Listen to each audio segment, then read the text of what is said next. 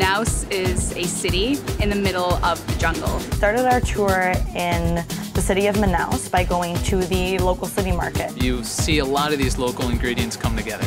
My name is Dennis, and I am a tour guide here in the Amazon. Our private guide, Dennis, just blew us away. He gave us a real insider scoop as to what everything was. So we're in the Opera House in Manaus. They had everything made in Europe and then shipped to the middle of the jungle. Upriver, uh, the Rio Negro, to the Anavilhanas National Park.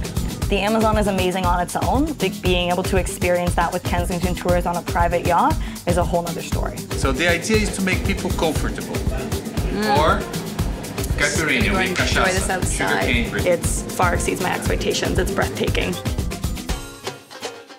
My name is Gerson as a local naturalist for almost 28 years. So we're here at the Rubber Museum and we're about to get to see one of the rubber trees get cut open. This process was so natural, so simple. You hear a lot about the rubber boom. We're in a place where really history happened here, important history. It's really fantastic.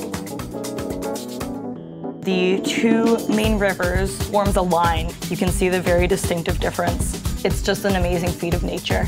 First taste of real jungle adventure. I'm Mikael Castro, one of the destination experts for Brazil for Kensington Tours, and we're here in the middle of the Amazon in one of the flooded forests. We able to see and move into the flooded forest and see wildlife. We saw birds, we saw various types of monkeys, and then that evening we went out caiman hunting. Yeah, I've been looking forward to this for a long time. We were literally touching them, holding them as they were fed.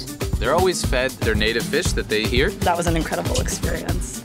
So we've gotten to this really cool spot and we're walking down this boardwalk to go what, look at water lilies. It was perfect, peaceful. Yeah, it was amazing. We got to see the pirarucu. These are the most interesting fish in the Amazon. She carries almost 400 pounds when they full grow. And you could feel the power that inhabit these waters. The sun rising over the forest, and it was breathtaking. Definitely the best way to start a day. And um, being on such a beautiful yacht doesn't hurt either, right?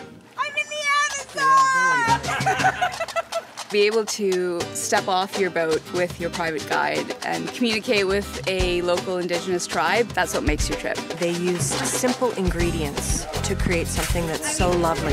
Their hospitality and, and their way of welcoming us really, really made a huge difference. So they showed us their various tribal dances, and then as a surprise, we got to visit with a rescued baby sloth that they had found, which was just mind-blowing. Due to the acidity of the Rio Negro, there's next to no bugs, which is one of the most amazing things about going on the trip. We could do exactly what we wanted, change the schedule as we wanted, and let things flow from there the way that fit for us. Having a private guide is invaluable. I mean, you walk away with such a good experience, um, such a fulfilling experience because you walk away with knowledge and it just makes the entire experience so much better. For your private guided experience to Brazil and the Amazon, go to kensingtontours.com.